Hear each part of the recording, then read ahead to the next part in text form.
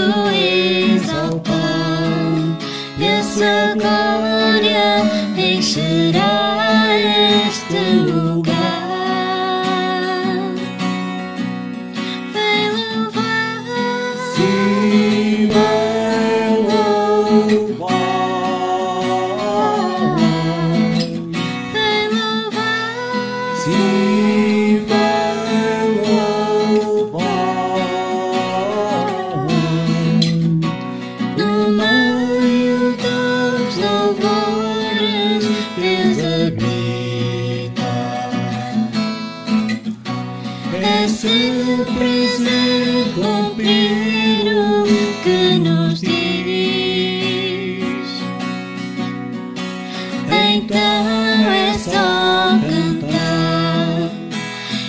Christus.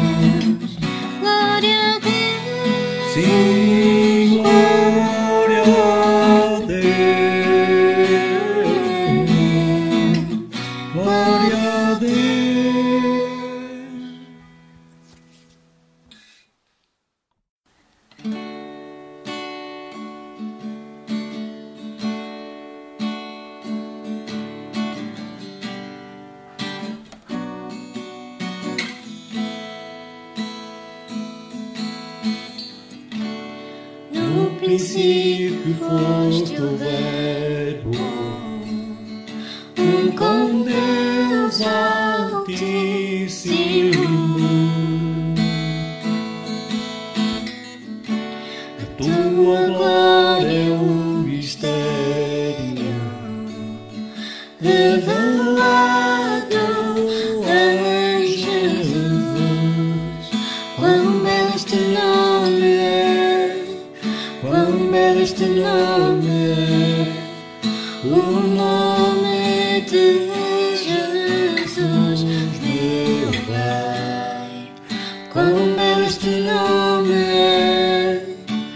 怎么？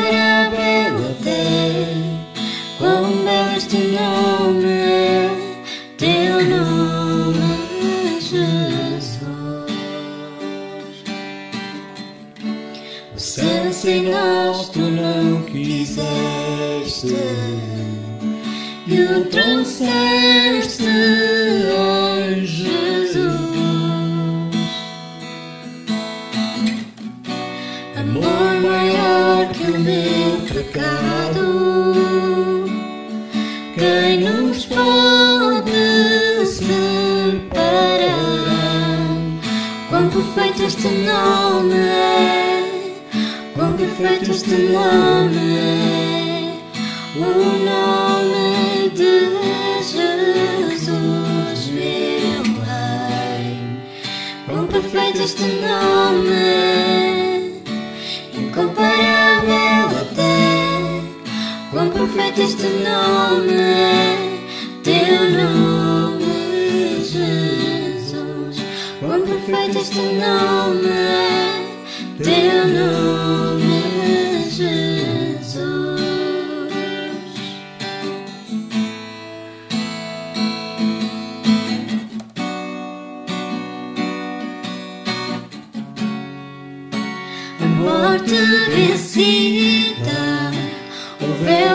rasgado, calaste o pecado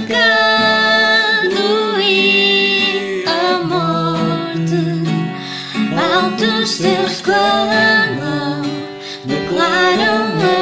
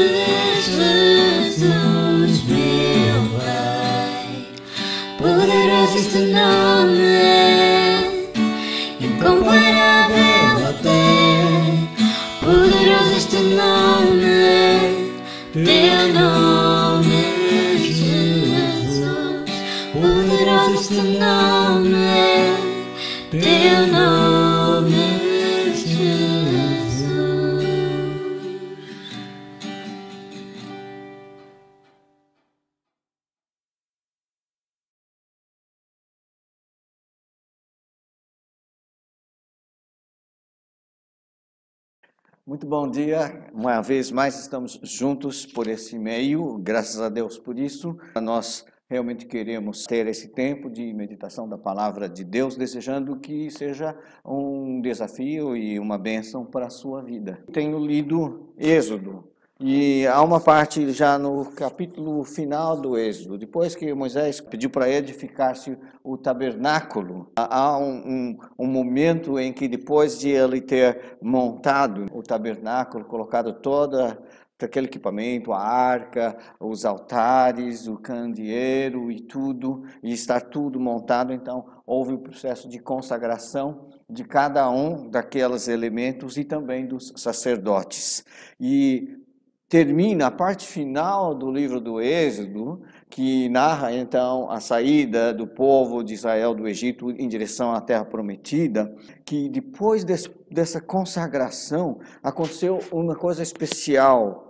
Êxodo 40, 34. Então a nuvem cobriu a tenda da congregação e a glória do Senhor encheu o tabernáculo. E Moisés não podia entrar na tenda da congregação porque a nuvem permanecia sobre ela e a glória do Senhor enchia o tabernáculo. Deve ter sido algo tão extraordinário. A glória do Senhor encher o tabernáculo. O tabernáculo, especialmente o Santo dos Santos, onde o Senhor se manifestava, era realmente a, a presença de Deus eh, no meio do seu povo. Este era um templo móvel que ia se- sendo deslocado na medida em que Deus ia direcionando o seu povo rumo à terra prometida.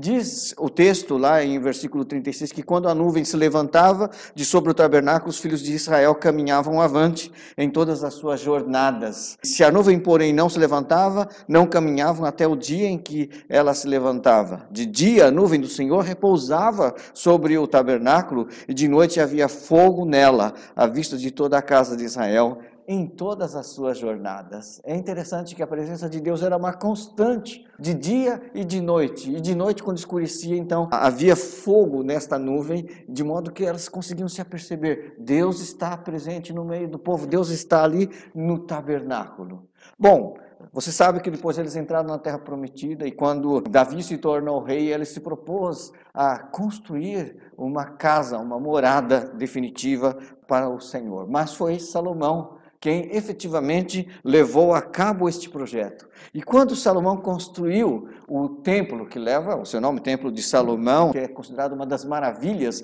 do mundo antigo, ele também então fez todo aquele processo de consagração do templo. Era o tabernáculo, mas feito como um templo definitivo.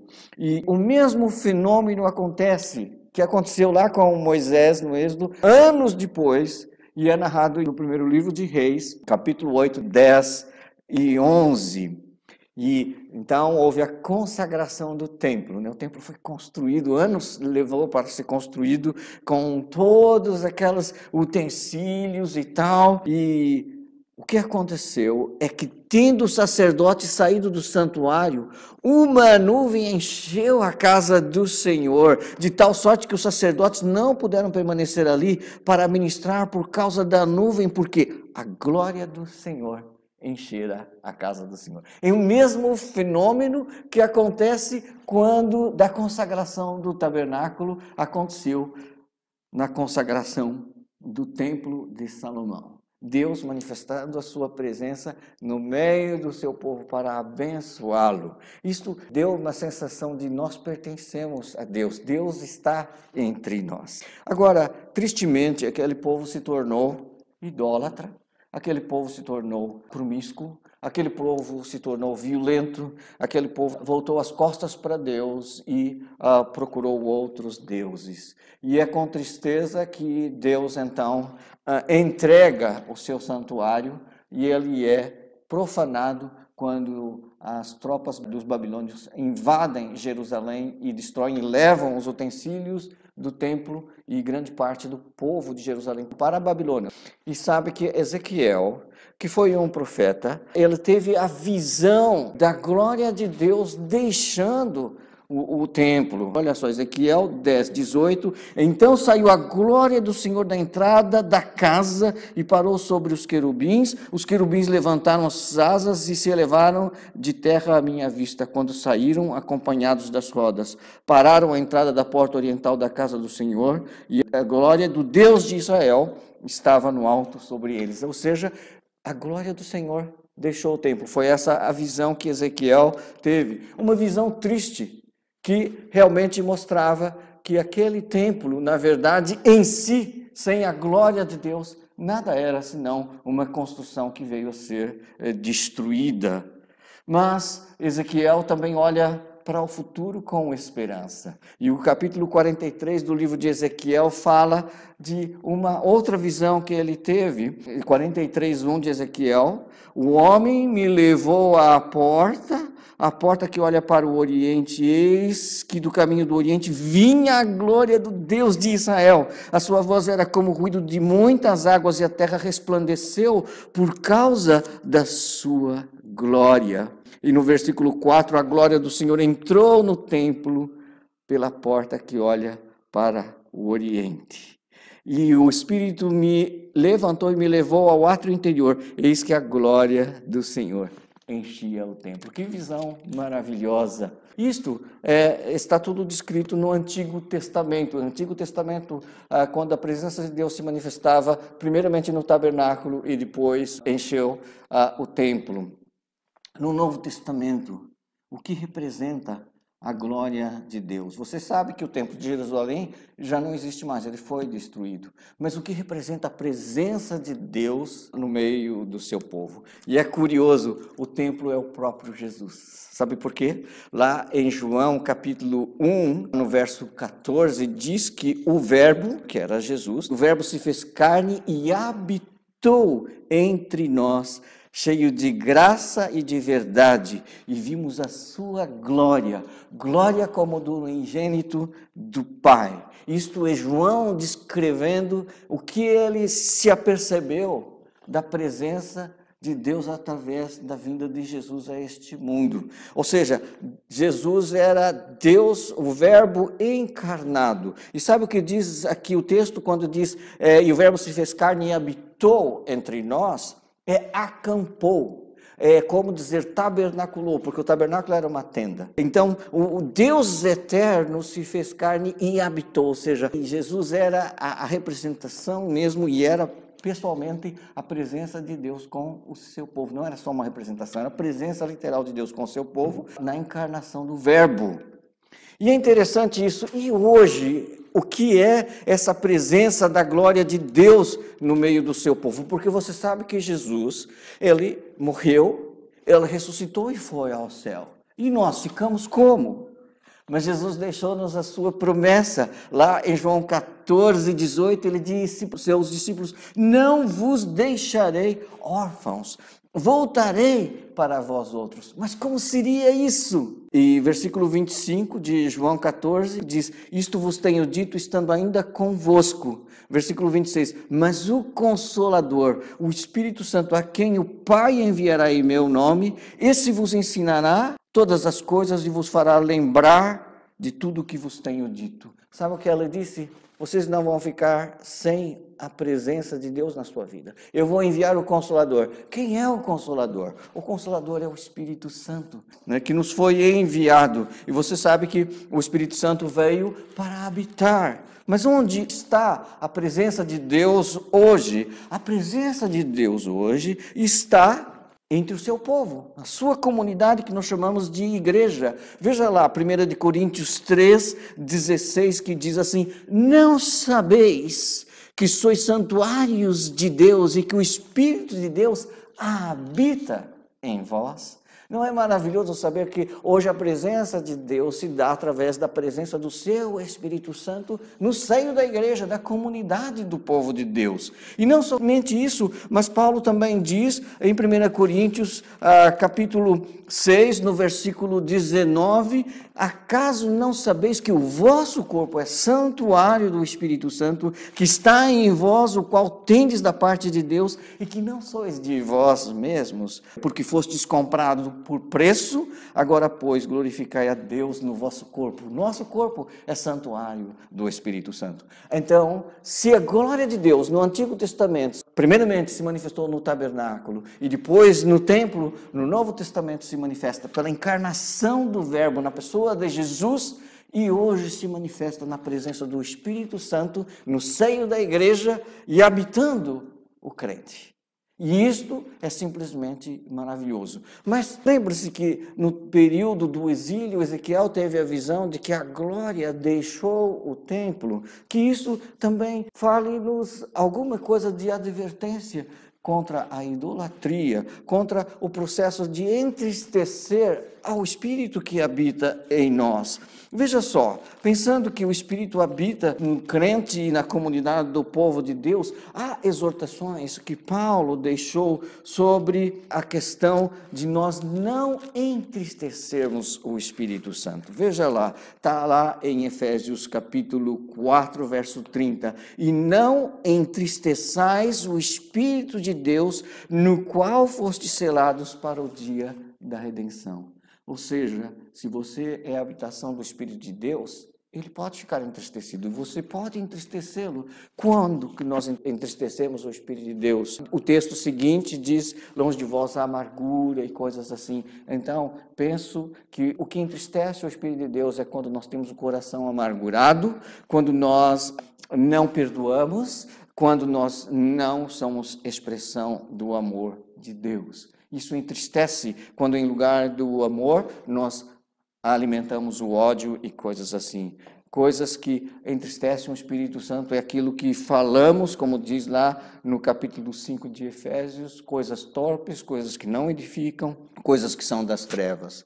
Por isso, nós não podemos entristecer o Espírito de Deus. Também não devemos apagá-lo, como diz em é, eh, 1 de Tessalonicenses 5,19, não apagueis o Espírito. Quando é que nós apagamos? Quando deixamos de ser sensíveis a voz do Espírito Santo. Em contrapartida, quando é que a glória de Deus vai se manifestar no meio do seu povo? Quando o seu povo, a exemplo do que Paulo escreve em Efésios 5:18, quando o seu povo está cheio do Espírito Santo. No texto paralelo, em Colossenses 3, diz: habite ricamente em vós a palavra de Cristo. Ou seja, espírito e palavra são duas coisas que devem encher o coração dos crentes. Qual é o resultado disso? O resultado, se você ver lá em Efésios 5, logo após ele falar sobre ser cheio do espírito, é falando entre vós com salmos, entoando e louvando de coração o Senhor, com hinos e cânticos espirituais, dando sempre graças graças por tudo ao nosso Deus e Pai, em nome do nosso Senhor Jesus Cristo,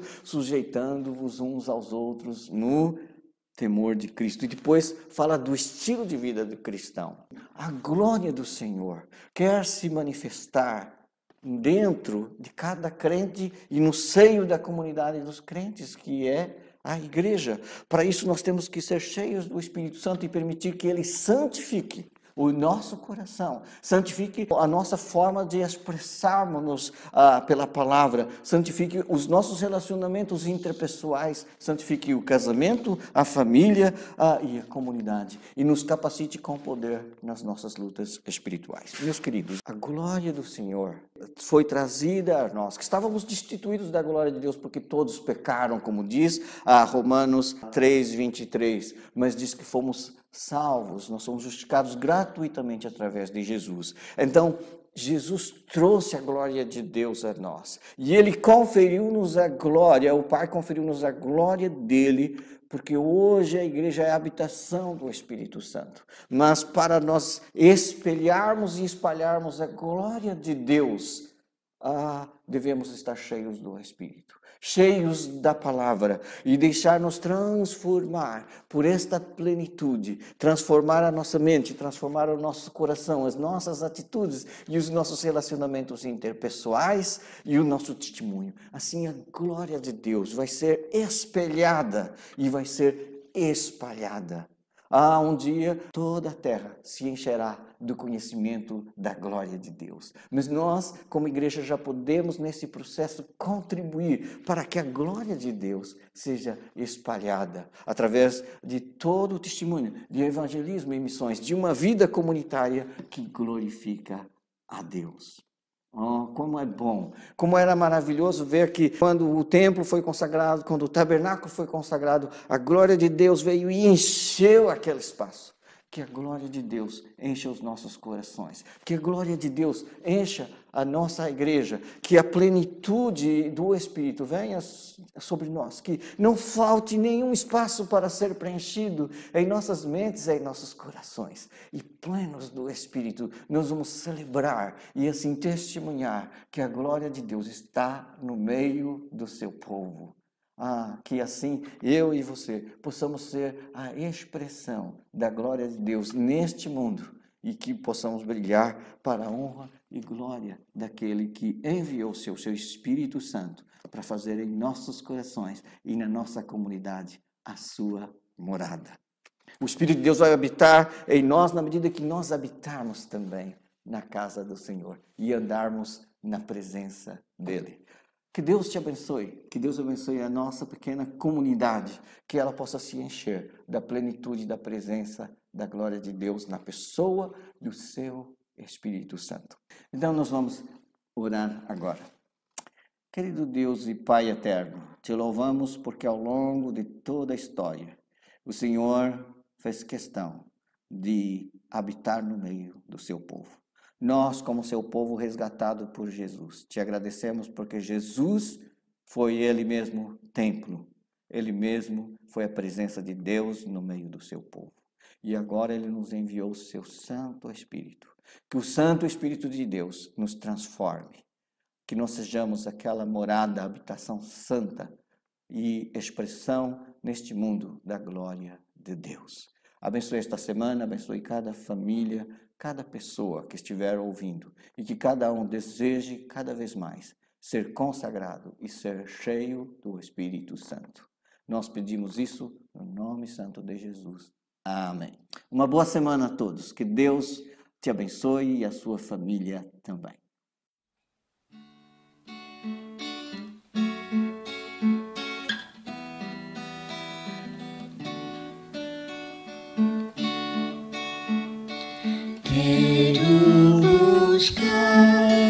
Hypnotiserad